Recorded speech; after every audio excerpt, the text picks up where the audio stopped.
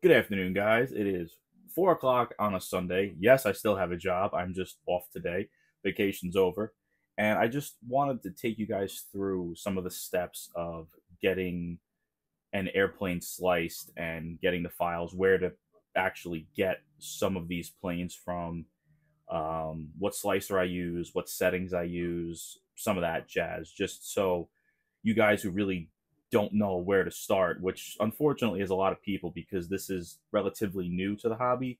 At least you guys have somewhere you can go from and kind of hit the ground, at least walking, not running quite, because you try to hit the ground running before you can walk, you're going to wind up really frustrated. So, without further ado, I'm going to spin this around, put you guys on a tripod, and uh, show you how I do it.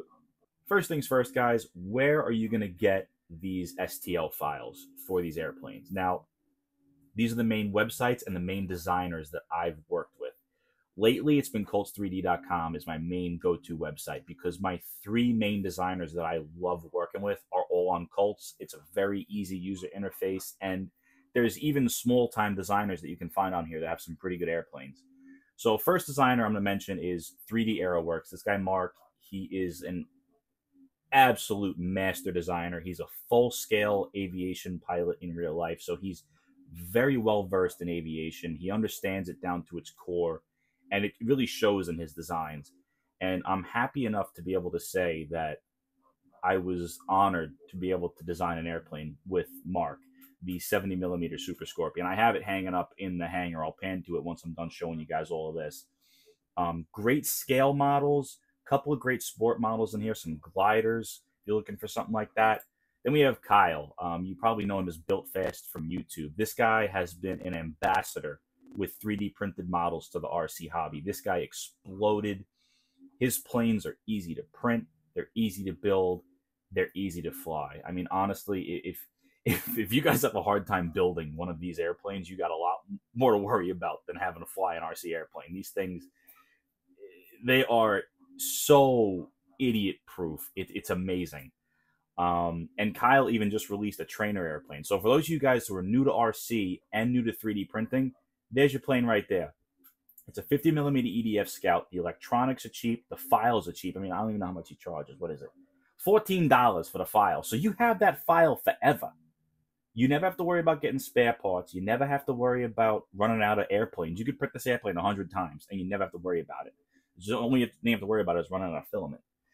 And then we have Thomas. This is Sodi's 3D. This is someone that I just recently started working with. He's a very nice guy from the conversations that I've had with him. And from what I've built of his, he's predominantly sport uh, models. I'm not sure if he actually has any trainers. Oh, he does have a trainer on here, is it? Yeah, he has a beginner EDF jet as well. But predominantly, what I've built from him is the sport jets, and he has a lot of thrust vectoring airplanes, which do some crazy stuff in the air. I mean, if you're looking, if you're someone with experience and you're looking for something to change it up, these thrust vectoring airplanes will they'll blow your socks off, to blow everybody at the field socks off. So that's 3dcults.com, and those are my three main designers.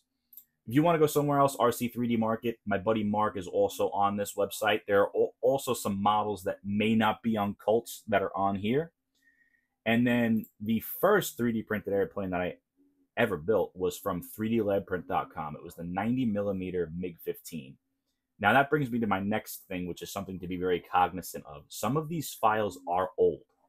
And the reason why I say that is files don't expire, but the electronic components, if they're not something that's very universal, if it's something that was very specific to that model, it may be discontinued. So the 90 millimeter MiG 15, the retracts that 3D Lab Print used in that airplane that were included in the manual are no longer available. So you're going to have to do some hunting to find something comparable, which it's, it's a bit annoying if I'm being honest. So just be cognizant of that. Most designers offer the manual for free before you purchase the files. And if you're looking for something that, or airplanes that use a universal um, electronic uh, configuration, Kyle. I mean, his planes are practically um, like Lego sets. They all use the same 50 millimeter EDFs, the same ESCs, the same receivers. You can use the same electric components in almost every single one of these airplanes, and they all fly different. They all look different. They all fly great, but they all shine in different aspects. And then for those of you guys who like the flat foamies, the Dollar Tree foam board, rcplans.com. This place, you have free plans. Go to the dollar store, buy a sheet of foam board, slap this on there off your printer, bing, bang, boom, you're rocking and rolling. And I know some of you guys are going to say, oh, Flight Test has that. I've built a couple of Flight Test airplanes, and I'm not trying to defame them in any way. I, I like what they're trying to do for the hobby, but I think for what they're asking for those foam airplanes, it is extremely overpriced. And you can do something from this website for a fraction of what you would pay from Flight Test. So that's that. That's where you can get all of your components. And then that is the 70 millimeter Super Scorpion. This airplane is, I, I don't even know, guys. It's got full flying ailerons. It's got dual rudders. It's got ailerons. It's got flaps. It's got retracts. This airplane has the works, and the configurations you can do with this thing are endless. You could program Crow for the ailerons and the uh, flaps. You could have the rudders act as drag rudders. The full flying stabs offer control like nothing I've flown, and it is so stinking floaty, man. It, it it's it's just next level. And Mark even designed there, uh, right there, these little uh, wingtip smoke bomb pods for uh, smoke bombs. If you wanted to run it with that, so keep that in mind. And now that brings us to our slicer. Predominantly, I'm using Bambu Studio because I've since migrated from my CR10 V2, my Artillery X1, to both Bambu machines. Now, I know some of you guys who like to have the open source things are going to say a sacrilege, but as someone who started with the ANET A8 back in the day, for those of you guys who know, you know that thing was a box of parts. You put it together, and the print quality was subpar at best going from that to this is it's like going from a Ford Model T to a Lamborghini Aventador. It is just night and day. Now, this slicer is very intuitive. It's very user friendly. I love the interface. And typically, the filaments that Bambu Lab sells are amazing. I have had zero issues with any Bambu Lab filaments, but I will say some of the presets on the lightweight PLA in my experience, needed to be adjusted.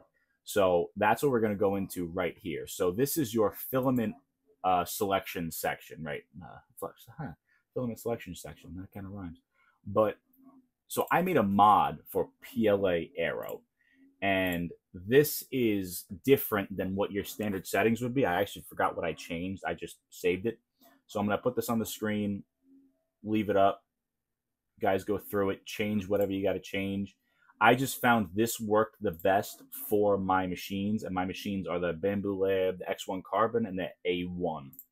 Not the A1 Mini, the regular A1. This these settings worked great for Bambu Lab PLA Aero, and then this is the settings that I use for the actual slicer components.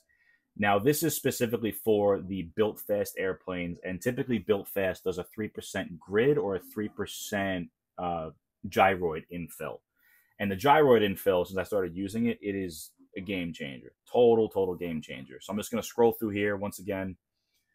And whatever you guys have to adjust, go through it, adjust all these things. Um, there's one setting that I had to do that really helped out with my printing where it was less uh, gobbledygook. Like I said, you can do grid or you can do gyroid. Lately, I've been doing gyroid a lot. Actually, I edit this. Let me save this that. Um, and the speed, you have to slow this thing down because you have to let the filament have a chance to foam and you don't want to wind up rushing it and have the file come out like Ocean God. Um, typically support, I don't have to run, but sometimes you may have to. That's up to you if you have experience with 3D printing, or if not, like I said, the uh, designer Kyle and Thomas both have Facebook groups. Built Fast and Sodi's 3D both have Facebook groups. They're very active. If they're gonna, have, if you have any questions, they're there to help you. Um, I found one thing that was pretty important that I did was the slicing by object. Um, that helps reduce a lot of stringing, especially if you're going to print a couple of parts. The only issue with that is the parts have to be pretty small. And I just personally like printing by object because if there is a failure of the print, you're not worrying about losing half of four, five, six parts that you just wasted filament on. At least it's just one part that happened to fail and you restart it and you know you're rocking and rolling. So that's the settings that I use on the Bambu Lab slicer for my Bambu Lab machines. Um, and then yeah, I'll uh, make a video about how to put these things together, what glue I use, what electronics I use, and all that jazz. But until then, um, stay tuned, guys. And I really, uh, I really hope you guys have some good flights. And I'm excited to help you guys get involved with this stuff, man, because it is, it really is a game changer. It's going to help your pocketbook. And it, it feels a lot better than spending $800 on a piece of foam and electronics to have something that you built yourself bring that down to the field and be able to show everybody how well these things fly and have the comfort of knowing that you never have to worry about running out of spare parts.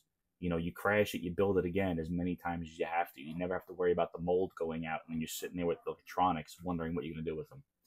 But until then, stay tuned, guys.